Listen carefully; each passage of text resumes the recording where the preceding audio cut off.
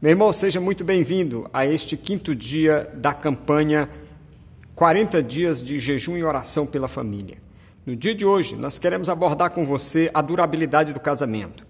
A palavra de Deus diz que o casamento é para toda a vida.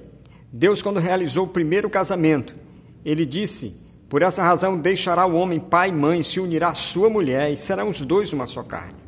O propósito de Deus, então, é que os dois sejam unidos numa só carne. Certa feita, um grupo de fariseus foi a Jesus indagando se um homem poderia dar a carta de divórcio à sua mulher por qualquer motivo. E eles alegavam que Moisés teria dado essa orientação. E Jesus disse: Moisés fez isso por causa da dureza do vosso coração. Mas não foi assim desde o princípio. Deus uniu homem e mulher para que fossem uma só carne. E Jesus acrescentou: Aqueles a quem Deus uniu, não separe o homem. Jesus abriu a possibilidade de que o divórcio poderia acontecer em caso de adultério. Então eu queria dizer para você que o casamento foi criado por Deus para ser indissolúvel. O casamento foi criado por Deus para que marido e mulher vivam até a morte. Esse é o propósito de Deus. Há a possibilidade de que por causa do adultério alguém se divorcie. Mas mesmo assim, a palavra de Deus diz que há a possibilidade do perdão, Cada um pode perdoar o outro.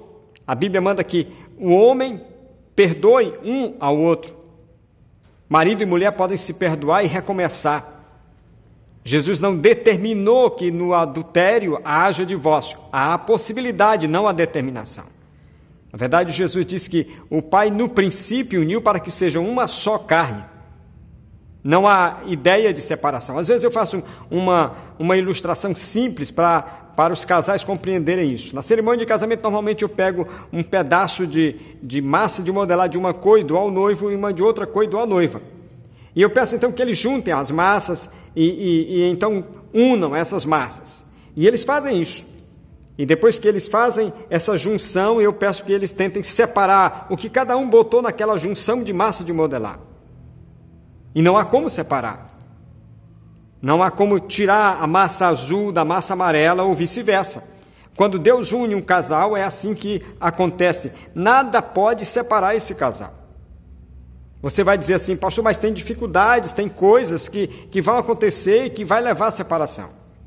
Conta-se que um casal celebrava 50 anos de casamento e todos perceberam que eles não estavam só celebrando 50 anos, eles eram felizes nesses 50 anos. Então alguém se aproximou daquele marido e perguntou como é que eles conseguiram manter um casamento por tanto tempo e com tanta felicidade. E a resposta foi simples e direta. Aquele marido disse àquele que lhe perguntava: Eu sou da época que quando a gente tinha uma dificuldade, quando a gente comprava algo e tinha um defeito, a gente levava para consertar, a gente não trocava por outro novo. Eu sou da época que a gente consertava. Então eu queria que no dia de hoje você aprendesse isso. Deus casou você com a sua mulher para a vida toda. Deus casou você com seu marido para a vida toda.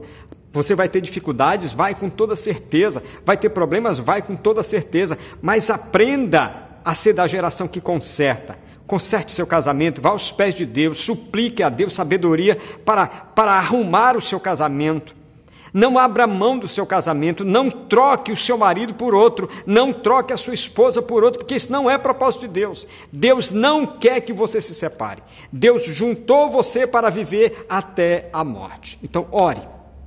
Ore no dia de hoje, para que seu casamento suporte as tempestades, para que seu casamento suporte os problemas. Ore para que você viva com sua esposa até a morte. Deus abençoe você.